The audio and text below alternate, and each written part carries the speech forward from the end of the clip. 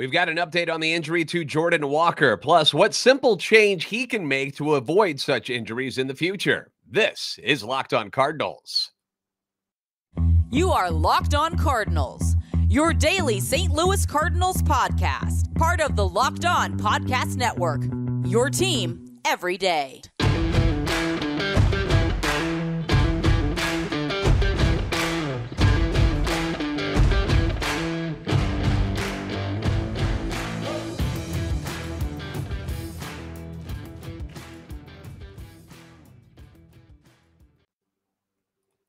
Hey there, Cardinal fans. I'm JD Hafford, and I'm a national radio sports anchor, born and raised in the Lou and a lifetime Cardinals fan. And I'm your host for Locked On Cardinals, part of the Locked On Podcast Network, covering your team every day. You can follow me on Twitter at JD Sports Radio. You can follow the podcast at LO underscore Cardinals. I want to thank those of you who make Locked On Cardinals your first listen every day. We are free and available wherever you get your podcasts. You're on iTunes, Spotify, Google Podcasts. You'll find us. Also on YouTube, make sure to like and subscribe and comment. That way you can interact with us. Hit the notification button so you know when new episodes are posted. This is a show serving Cardinal Nation and giving the best fans in baseball all of the info about the birds on the bat. Today's episode is being brought to you by FanDuel Sportsbook, the official sportsbook of Locked On. Make every moment more. Visit fanduel.com slash locked on today to get started. So the Cardinals finished up their week with a five and one victory or five to one victory over the Nationals and went five and two this week to push their overall record to nine and five, which is the second highest winning percentage in the Grapefruit League behind the Boston Red Sox, who at the time of this recording uh, were tied up in the ninth inning against the Yankees. Um, I do think they ended up going on and losing that game last time I checked, but doesn't really matter. Over in the Cactus League, the Royals are uh, 13 and 2 in the spring, followed by the Cubs at 10 and 6, Dodgers 8 and 4, and then the Angels have the same record as the Cardinals at 9 and 5. And uh, what does all of that mean? Absolutely nothing. it means absolutely nothing in the grand scheme of things, especially for teams like the Cardinals, who are missing most of their normal starting eight due to the World Baseball Classic. So, records, as much as it is, you know, nice to win and everything, the records don't really matter. We're just kind of paying attention to position battles, people getting in shape. What are the rosters going to look like? That stuff's more important than the overall uh, record in spring training. Um, speaking of the World Baseball Classic, how about Lars Nootbaar? Is he like the biggest star of the World Baseball Classic right now? Like he's just all over the place. Here, here he is right here. Picture on YouTube. There he is. Going all Jordan on us with the tongue. Um, he and Shohei are best buds on Team Japan right now. He's doing the pregame pump up speeches for the team. He's got all of Japan running around trying to buy pepper grinders. They're bringing them in the stands and going ham with them, just shaking them all over the place. He's batting leadoff and setting the table for their lineup. Uh, had a hit, two walks, and two runs scored today against Australia. Uh, I actually saw this picture. It was actually a video, and I took a snapshot of it. Here it is on YouTube of him uh, saying something awesome after the game. I have no idea why the microphone looks so tiny. Like, look how big his knuckle is. Like his hands, it's like he's got the hands of Andre the Giant in this photo with a little baby microphone. I don't know why they gave him that, but uh, I- am sure it works fine. But anyway, uh, Lars just becoming a superstar with Team Japan. I was actually talking to friends on Saturday uh, while at the Blues game about it, and uh, with some folks online too. How you know the U.S. stadiums aren't going to allow if you wanted to bring in a, a pepper grinder to the ballpark, they're not going to let you. They're going to say, no, you can't bring that in here. But if they actually sold these pepper grinders at the Busch Stadium team store, the Cardinals could make a fortune right? Because like we're gonna fall for that. We're gonna go buy those things. And then here's what you do. This is the scheme, okay? You take that money into the offseason and then you spend it on bringing his new best friend Shohei Ohtani to the St. Louis Cardinals. That's what you do. You get your ace, you get your left-handed power hitter. Problems are solved in 2024. Somebody run that up to Mo. Tell him it's a good idea. Anyway, the biggest news of the day wasn't exactly the win for the Cardinals, but instead what was going on with the Jordan Walker injury from Saturday.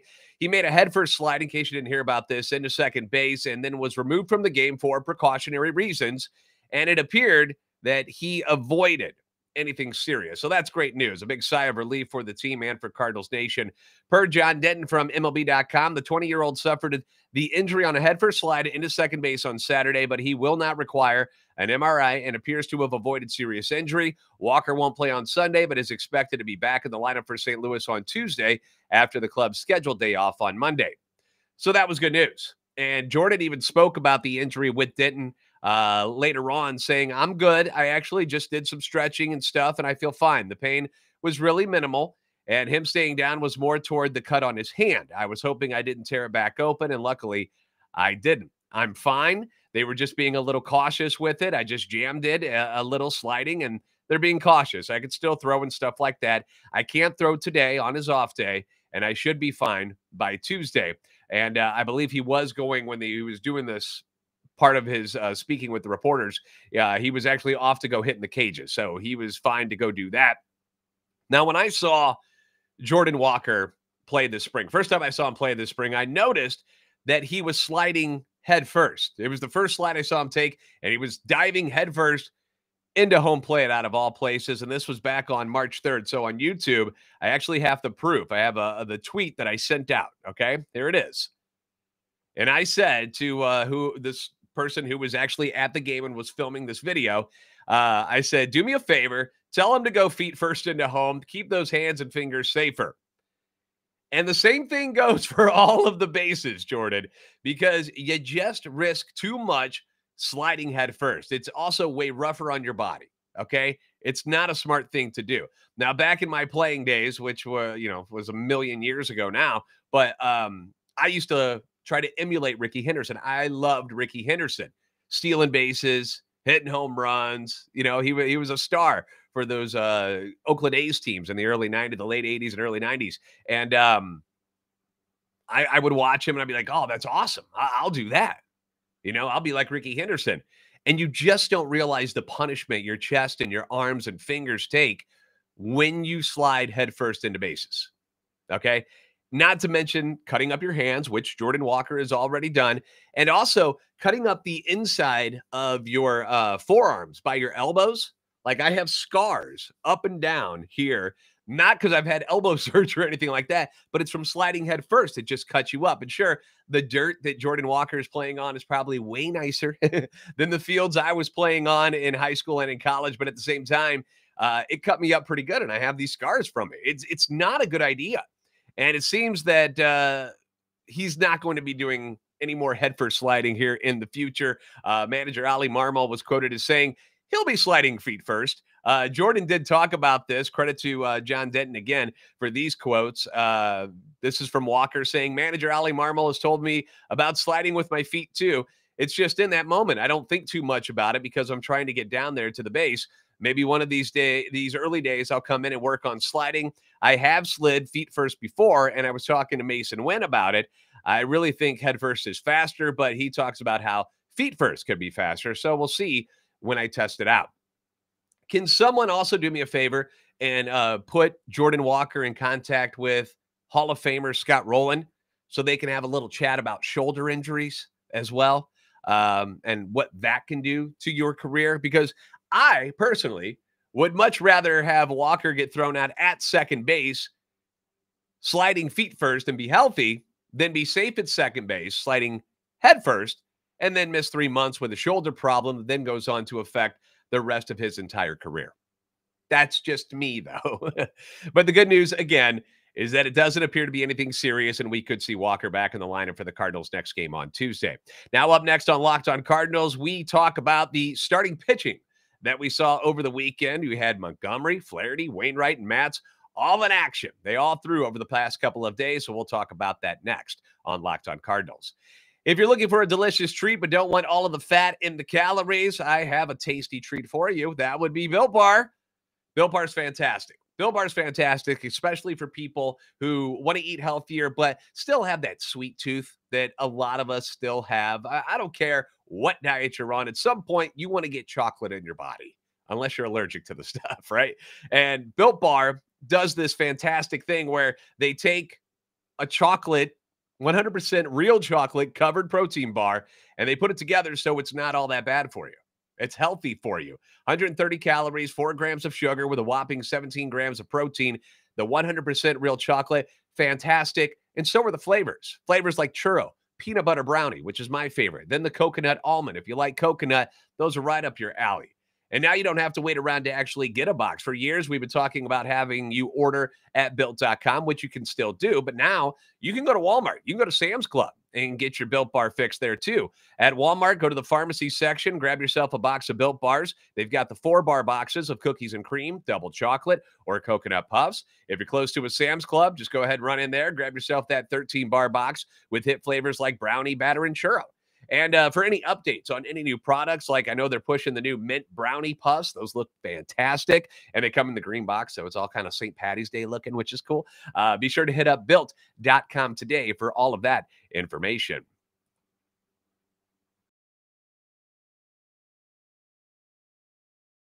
Now, I think we can all agree that the Cardinals offense is the least of our concerns at this point of spring training. So let's focus on the starting rotation today and talk a little bit about the bullpen too, but mostly starting pitching. Uh, most of them were pitching over the weekend. So let's take you back to Friday night where the big lefty Jordan Montgomery got the ball against the New York Mets, who he faced in his first appearance. And he got roughed up a little bit in that first outing. Uh, got tagged for four runs, five hits, including a dinger in just three innings of work. So coming into the game on Friday, his ERA was a 12, which is not good. Uh, Friday night, Montgomery looked much better. He extended his outing to four innings. He gave up two runs on three hits. He walked one, but he struck out four.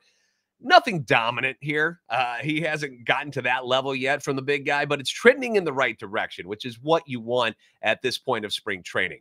Uh, this is just his second appearance, so there's no need to freak out about any of his numbers yet. But because one of the things is because you got to think about this too. Sometimes they go into these spring training starts and they're not throwing everything that they can. Perhaps they go into the start and say, "All right, we want to work on you throwing to the outer half of the plate. So give me one inning where you're focused on that. Or maybe they're throwing on the inside portion. We don't know exactly what they're working on. So sometimes when you see these guys get hit up a little bit, it's not exactly because they're throwing their best stuff at the hitters. They're they're working on things at the same time, just in game situations. So I don't know if that's what's going on with Montgomery, but it could be. So keep that in, in your back of your mind when you when you watch these games, and sometimes maybe you're like, why is he doing that? That could be the reason why. But it's a positive sign to see that things got better. You know, that's what you're looking for. He retired the first seven hitters he faced before giving up all three hits in a span of four batters. But his overall numbers, they're not going to stand out to you and go like, "Ooh, that's really good," because they're not. They're just eh. six runs, eight hits, and seven innings so far for Montgomery this spring. Six strikeouts. His ERA is at seven point seven one. So what you're thinking about here is just him improving with each outing leading up to opening day, and that's what he did here. So that's the positive take I'm going to have on what I saw from Jordan Montgomery. Uh, it was all lefties after him uh, for the Cardinals on that game. Uh, lefty prospect Matthew Liberatore came in following Montgomery. He allowed two runs, one of which was unearned following his own throwing error, so he can only get mad at himself. Uh, through three innings of work, he's had a pretty solid spring so far. Uh, 1.80 ERA over five innings, just four hits, one earned run, three strikeouts, and most importantly, I'll always say this: no walks. Matthew Liberatore throwing strikes is very good. That's what you want out of him. You want him aggressive in the zone. You want him attacking hitters. You want him to trust his stuff and go after people. And he's not walking people. He's not putting unnecessary pressure on himself uh, by putting the people on the bases and not earning their way on. So I like what I see so far from Liberatore. I do not expect him on the Cardinals roster. I expect him to go down to Memphis and be one of their top starters. Uh, on Saturday, you had Jack Flaherty making his second start of the spring against the Astros, while Adam Wainwright got the start for Team USA in the World Baseball Classic against Great Britain. Uh, let's start with Flaherty here, okay? Made a second start of the spring, second start against the Astros as well not quite as dominant as the first outing. Uh, he worked four innings, allowed two runs on five hits. He only struck out two. But again, I'll harp on it, did not walk a batter. And most importantly, he came out of this game healthy, which is what you're really concerned about with Flaherty, right? Uh, Flaherty's numbers through two starts are seven innings, three runs, six hits, one walk, seven strikeouts. Solid numbers, solid numbers. And again, he's healthy. And that's what you really are, are working for is like, let's get Jack throwing well, but also be healthy. going into the season. So far, that's been the case. Unfortunately, in that game, the offense couldn't muster up much, and they uh, dropped that game to the Astros by the score of three to two. Adam Wainwright had a rough couple of outings with the Cardinals before he headed off for the World Baseball Classic, where he got the start against Great Britain on Saturday. And uh, it wasn't it wasn't the best beginning for Adam. First batter of the night was the Dodgers' Trayce Thompson, who, if you're unfamiliar, is the brother of Golden State Warriors star Klay Thompson. And he took Wayno's curveball over the wall for a solo shot. And I think we all kind of felt that knot in your stomach where you're like, oh gosh. For one, you don't want to see your guy struggle on the world stage. It's different if Wainwright's giving up taters in spring training games when he's doing it at the World Baseball Classic in front of 40 something thousand people at Chase Field in Arizona, and you've got the world watching. It's a little bit like, oh, I don't want him to get embarrassed out here.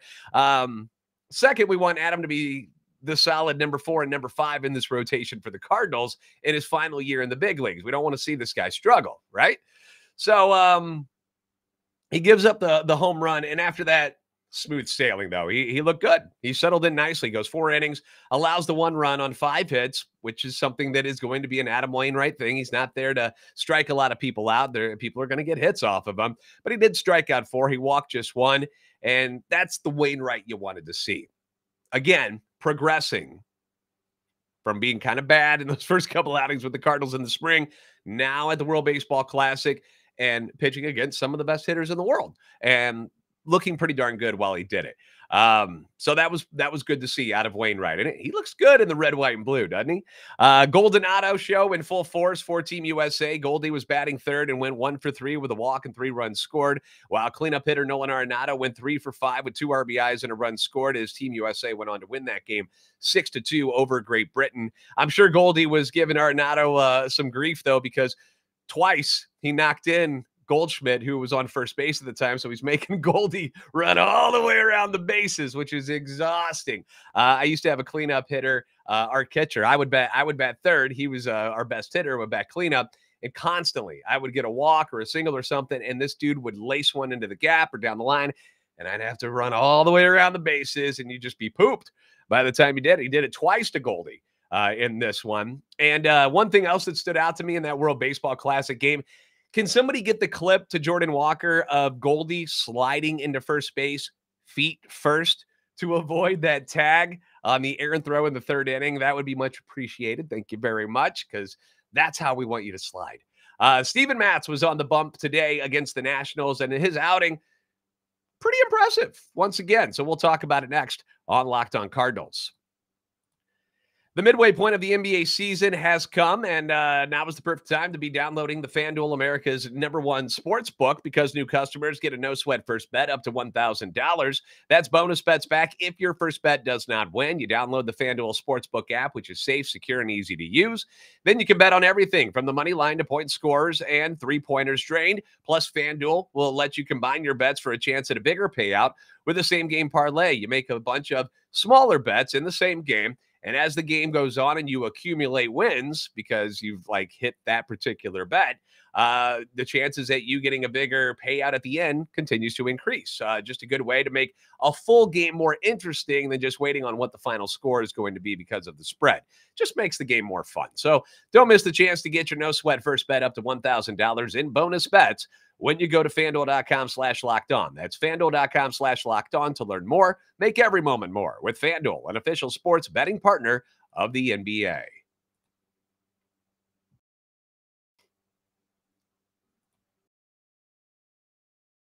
If the Cardinals get a healthy Steven Matz this year, which is not something that is guaranteed because he's had health problems throughout most of his major league career, but when he is healthy, the man looks good. And so far this spring, Matz has looked really friggin' good. Uh, first outing against Houston, he throws three no hit innings. He strikes out four, was as good as I've seen Steven Matz throw since he's put on a Cardinals uniform. Then today, not quite as clean, but still, you had to like what you saw because uh, the most part of it was pretty good. Uh, goes three and two thirds today, five more strikeouts, which is huge. He walks three, which is a big no no, obviously, but allowed just one run on three hits. So when he did get himself into trouble with the walks, he was able to work his way out of it. Uh, that one run coming on a solo shot that he gave up today. And after the game, Matz even admitted to not having his best stuff, saying this to Cardinals beat writer Rob Rains. Today was a little bit different scenario for me than my first outing when everything felt really crisp. My stuff wasn't as sharp, but those days happen a lot throughout the season. I was happy with the way I was able to stay with the pitch clock and execute pitches. And uh, he also went on to talk about how having runners on base isn't such a bad thing in spring training because it's kind of good because they can work on this stuff. This is his quote. It's good to run with some traffic on and get used to that pitch clock with runners on. It was all good stepping stone for me today. A lot of times in the season, you don't have your best stuff and you have to figure out a way to make pitches and limit the damage. Uh, Matz's numbers throughout two starts so far is uh, six and two thirds innings, one run, three hits, nine strikeouts. Speaking of strikeouts, closer Ryan Helsley looked good again today. He strikes out the side in his lone inning of work. Jordan Hicks. Jordan Hicks, everybody. That's the guy we want to see. Had a rough spring so far, but today strikes out uh, the side in his one inning of work. Uh, also, Drew Verhagen, Verhagen still, uh, after being a bit of a punching bag last year for, for a lot of pundits, continues to look strong this spring. You remember he had a hip surgery and basically was hurt pretty much all year last year, even the games he was fighting through the hip injury. So gets surgery, gets it cleaned up, hasn't allowed a hit or a run in his three innings of work so far, which is great to see after signing him to a two year deal. So, all in all, you got to be encouraged on what you saw from uh, the pitching this weekend. Flaherty is healthy. Montgomery was better. Matz has been fantastic. Wayno looked vintage for Team USA. Now, on Monday's show, we're going to focus uh, a little bit more on what's going on with the offense, okay? Because we got to talk about some guys. There's some ups and there's some downs happening on this Cardinals roster right now. And, uh, you know, we can't sugarcoat things. Some of the guys that we were hoping that would have better springs, have disappointed.